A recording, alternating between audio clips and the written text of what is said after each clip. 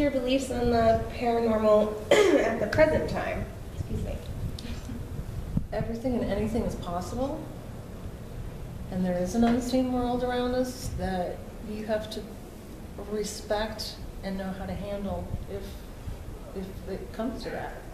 Because some of them aren't so very good. Ninety percent of them, you know, they're living in, in, in like a parallel to us. They don't bother us. Right. Or they're, you know, maybe they turn out your light after you walk out of the room or something, or, you know, they interact in ways that aren't hateful or harmful, and that's okay, but there's other ones that are out there that are very negative and very intrusive and are, are there specifically to There's cause definitely chaos. a, a good and evil. If there's a heaven, I definitely believe there's a hell. And because of the things I experienced, um, it, it really backed that up for me. And Right. actually, that, the one good thing that came out of it was it's brought us a lot closer to God. Where, where I have a lot of faith now, whereas before I, you know, I was questioning. Right. And, And he, and he grew up Catholic, you know, Catholic high school and everything, and I was born and baptized Catholic, but for one reason or another, I kind of strayed away from, you know, practicing Catholic. I would say we're practicing Christians, you know, we believe there's God. Um, I know I have seen several miracles in what we've been through, whether it be at the house, you know, and getting out as safely as we did, because it could have gone very, very wrong. Um, or in the investigations that we've done, you know, since then. Right. I've seen things that are, uh, the only explanation is that um, God had a hand in it, Mhm. and He's protected us. Why would a spirit hang around on Earth? Why? Why? Why wouldn't they go to heaven or hell? What? What is y'all's That's a good question, because that's the part I struggled with. I couldn't understand, you know, it, growing up the way I did, you were always taught that, um, you know, you died, you either went to heaven, or hell, why, Or you didn't go anywhere. yeah, you were You just, just died.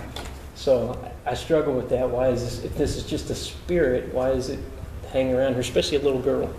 Right. Um, Right. But then the things I started experiencing and seeing, well, it changed my whole. I, that's when I, the whole demon aspect started, and that I could I could understand that you know we were. Uh, I seriously I think there's demons around, and we just a lot of times can't see them, and And we don't know we're being influenced by them. Right. and they're very smart. They, they've for ages learned how to trick us and and to trap us into, you know, And if they get a hold of you, they, they can accentuate the negative aspects that you have in your life, whether it mm-hmm. be anger, anxiousness, or fear, or jealousy. They, they take those negatives and they just, you know, they compound them so much to the point where it, it causes major chaos in your life. And so we're, we've dealt with this for so long that for the most part, we can see it coming because We're not free of it. I think that we always have an uns- an unseen tether to that negative place and those negative entities that were there. And they, they creep back into mhm. our lives once in a while. So a lot of it could be spiritual warfare. that's what it feels like. Exactly, Exactly. That's exactly. exactly what it feels like. And Satan's the father of lies. So Mhm. of course his demons are gonna they're gonna want to disguise themselves and Right. take advantage. And that, that's what I found out it did in that house because the first time I saw something, it was I saw this little girl, and she was standing in the kitchen. I remember coming home from work and getting something out of the fridge. I think it's a glass of juice or something. I turned to look. It was more 18th century type. And was actually a white dress, and I remember she had a white ribbon in her hair, kind of like she was dressed for church or something. And I'm seeing her, and it didn't kick in right away that it's a ghost. It was just first thought was, why is this neighbor girl in my house? And, and I'm thinking all these thoughts, and then it kicked in. I can see through her. I can see the door right through her, and I, I just froze. It uh, dropped the glass, and it broke on the floor. And I once again was brave and ran upstairs. And was trying to tell her, but I was like hyperventilating. I'm like, oh my god, I just saw this ghost. All I, all I heard, she kept saying, I saw him, I saw him. So- And, and I couldn't make it out until probably the sixth time you said it, and then I just got pissed. She didn't show herself to you yet, right? Exactly. I'm the paranormal person, Miss Greer. You've been playing with her? I am so frustrated.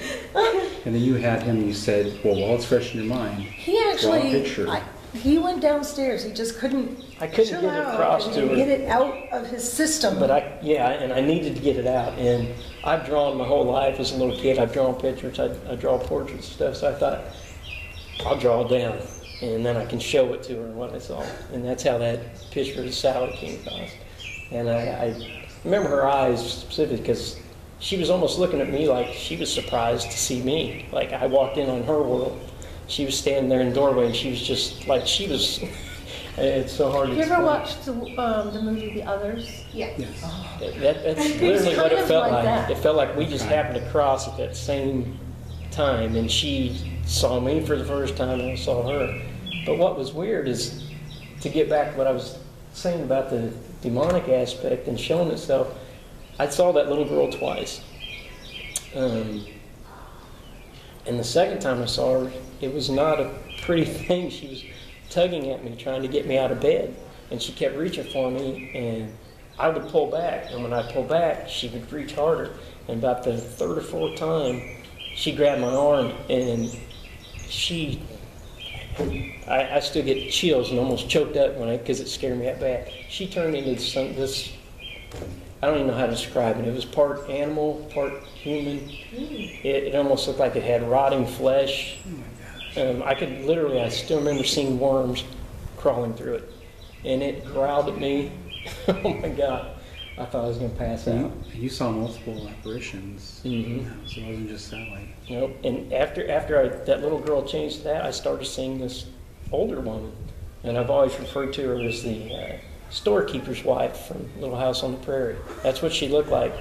I remember she was dressed in black and she had lace gloves on and she had a kind of a black ruffled collar with a brooch. I still remember a brooch on her. And she would materialize at the end of the bed. I could sit there and watch her. And things would just go, whenever I saw her, things would go haywire. The bed would be moving, the dresser drawers would be boom, boom, slamming. Um, and I would just be paralyzed. And I remember coming over to the side of the bed, and the two times I saw her like that, she would, it was like in a replay. She would reach out towards me, and when she'd reach, I'd see her arm, and she would say, I'm gonna. And by the time she got to my throat, I would see a blackbird on her hand, and then she'd disappear. And that happened twice. If she's anything like the lady on Little House. yeah. It's not a good thing. did not look at No. I wonder what the significance is about that bird, because that, that sticks out. Yeah. We Yeah, tried it to was- research that. I never understood that. Um, Yeah. That's very interesting en- enough, I don't know if you know anything about the, um, the Villisca Axe Murder House. Have you been up there? I there? haven't been up there, but I know, I know a lot about it. Okay. The woman who lived next door Uh, looks like that, The, that, the woman at the Villisca house um, Yeah. that actually found the children. I was flipping, we had gone there and I was flipping through a book we bought about it, and I come across this picture of the neighbor lady that found the, the family the bodies, next yeah. day.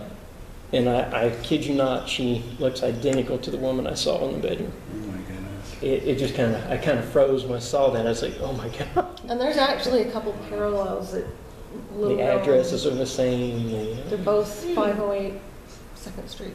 Both supposed to have been Interesting. built on Indian. Um, Indian Badlands or yeah, something. where they would put their, where the Indians would keep They their would- mentally insane. And they would traverse around it to avoid any bad stuff. My goodness. You guys had more than just uh, stuffed animals and bears catching fire. You had candles. Or- I believe Candles, so. binkies, Said that toys, in there. um, a rose, a fresh rose, Oil a lamp. bib, oil lamps. What did your friends and family think? Um, coming to your house and having these things? I don't did think they always anybody catch wanted to on come to the it, house after or- Christmas. At Christmas, I, I had a, a family member that, when they were leaving, come around the stairs and. Thank God it was towards the end of, everybody Yeah. was like leaving and the majority of And they come running were- back and said, your stairs are on fire, Oh or, my It was a, it was a, um, a mop, you ever seen those like country mop dolls? Mhm. Little bonnets and everything. Oh, yeah. That had been, that was on fire. And he grabbed it and ran upstairs with it and, you know, under the water. He came out with burns and, Things were usually, and they burned weird, and it, if a doll burned, it seemed to always burn. Well, it was underneath her, the brim of her hat, underneath her hair hmm, to the neck. And what was it? I've got the dolls still. I think it was like the, Yeah, it would have crown like a ring, it would burn a ring. but it's a straw hat, and it it should have all gone poof. Yeah. But it didn't. It was very localized. Yes. It like, like I said, it would go from the inside out. That's what was so weird. You couldn't explain how it was. You The couldn't, you rose couldn't was have held a match or anything to it and burn it like the way it was burned. So, You had to question your sanity. uh, a And we did a lot.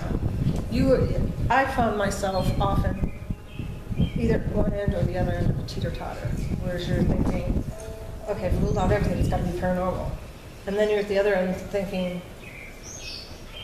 you know, this can't be. I'm- I'm missing something. You know, you, there, there's got to be something logical about this. What am I, what am, what am I not seeing? You know, bring somebody else in, or you know, Right. so you constantly found yourself at, at different